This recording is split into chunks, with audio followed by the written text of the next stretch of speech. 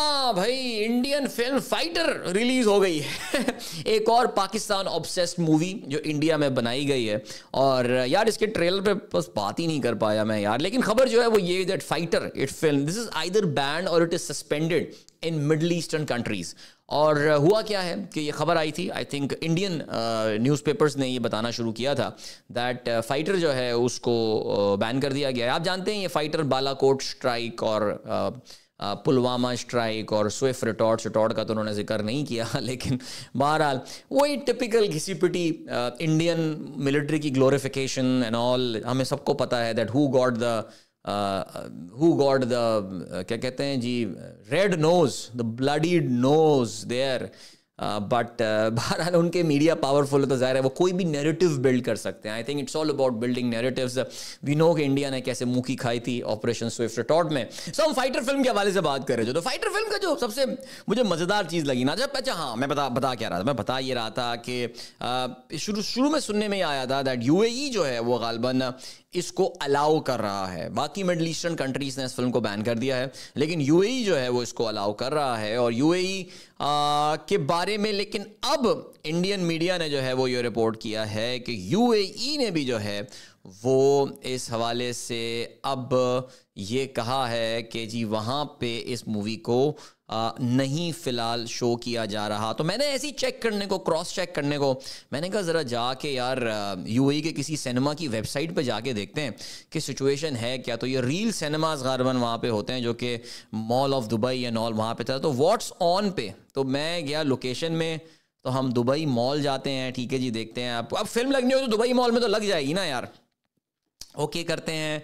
What's on देखते हैं। अब इसमें क्या फाइटर हमें नज़र आ रही है या नहीं नज़र आ रही है? Let see let see let see let see Ferrari है माशाल्लाह Dunki Migration Animal Wish Oppenheimer Oppenheimer तो इसमें you can see that there is no ये मैंने कल की डेट लगाई है रिपब्लिक डे इंडिया का कल मुबारक हो आप सबको।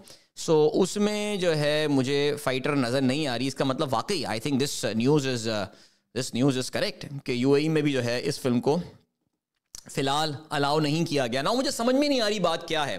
बिकॉज़ हमें पता है दैट ये इंडिया के बड़े करीबी मुल्क हैं, बल्कि अब तो ये आपको कहना पड़ेगा कि middle eastern countries are closer to India now because of the Indian economic might and all लेकिन क्या वजह हो सकती है कि ये इस फ़िल्म को जो है ये चलाना अलाउ नहीं कर रहे हैं? मुझे ज़ाहिर है इसकी वजह जो है वो ढूंढनी पड़ेगी। I really don't know the reason behind that so चलो जी ठीक हो गया।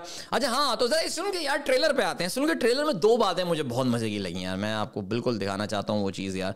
शायद पहले भी हो सकता है मैंने जो है ना उसका ज़िक्र किया हो लेकिन uh, सबसे पहले जो उसमें मज़ेदार चीज़ वो जो Pakistani pilot Pakistani fighter pilot जो दिखाया है यानी यार किसी ने बिल्कुल सही ऑब्जर्वेशन अच्छा उसके ऊपर लिखा हुआ है red nose red nose okay red rose लिखा हुआ है, लेकिन रेड शुरू में पढ़ा मैंने रेड रोज नहीं नहीं नहीं रेड नोज़ लिखा हुआ है।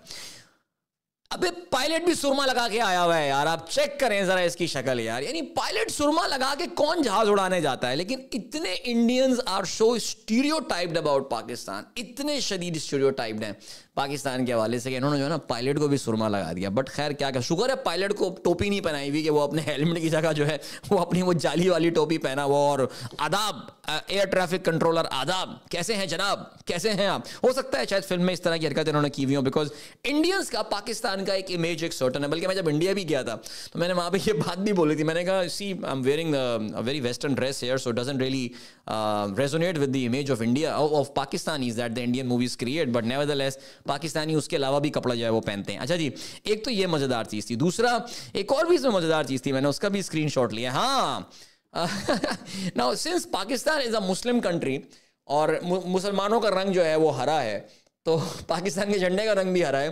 पाकिस्तान के एफ़ सिक्सटीन भी ग्रीन कलर के हैं। वाह वाह वाह वाह। उन्होंने एफ़ सिक्सटीन पे भी उन्होंने कहा कि यार स्प्रे पेंट करो और उसको जो है ना, पाकिस्तान के एफ़ सिक्सटीन भी ग्रे कर मदनी एफ़ सिक्सटीन मदनी एफ़ सिक्सटीन वाह, क्या बात है, ज़बरदस्त।